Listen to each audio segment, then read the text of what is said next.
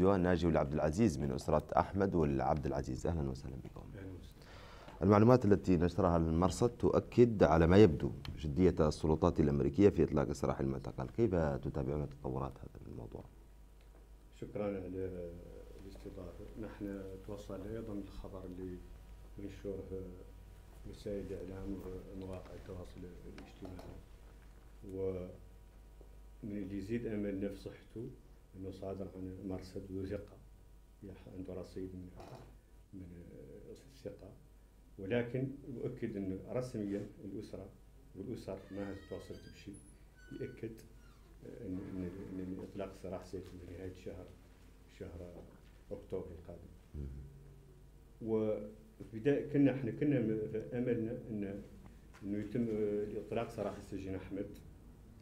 بنهاية شهر سبتمبر لأن السيده أنا هولاند اللي آه، منسقة تلفيف المحامين اللي متكلف بالملف اتصلت بينا وأكدت أن توقعها الشخصي مع مجموعة المحامين على آه، الحرية إن شاء الله لأحمد في نهاية سبتمبر الجاي.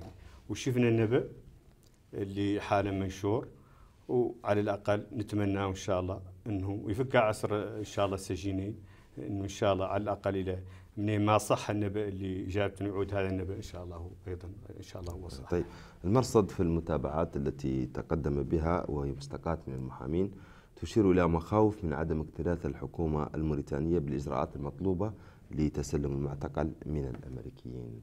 كيف تعلقون على هذا؟ نحن كأسر نأكد ثقتنا في الإجراءات اللي قامت بها الحكومة لأن المسؤول الأول في الدولة رئيس الجمهورية أكد تمسكه بالملف وتقديمه للسلطات الأمريكية والمسائل اللي اللي بقات مسائل إجرائية تتعلق بالحكومة الأمريكية ولا تتعلق بالحكومة. كل ما يمكن أن تقوم به الحكومة كطرف قامت به.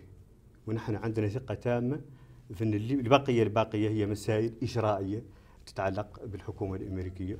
وأعتقد أن, إن, إن التجربة أثبتت أنه كانت لم تكن دائما تلك الإجراءات بالسهولة طيب ما الذي قامت به الحكومة يعني منذ بداية متابعتكم لهذا الملف؟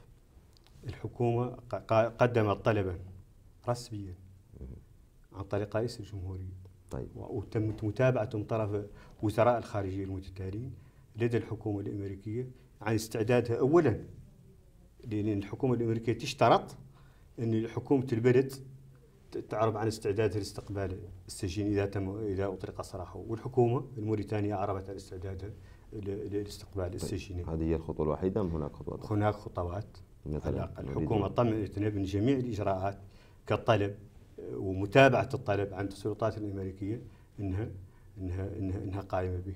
وعندنا مولي تطمينات من طرف السلطات المنظمات ولفيف المحامين ومنظمات المجتمع المدني ولفيف المحامين بصحة طيب الآن يوجد الرئيس محمد بن عبد العزيز في الولايات المتحدة الأمريكية. كيف تحركتم لتذكيره بضرورة طرح قضية أحمد والعبد العزيز ورفيقه محمد بن صلاح شوف رئيس الجمهورية الملف قابله كقضية وطنية.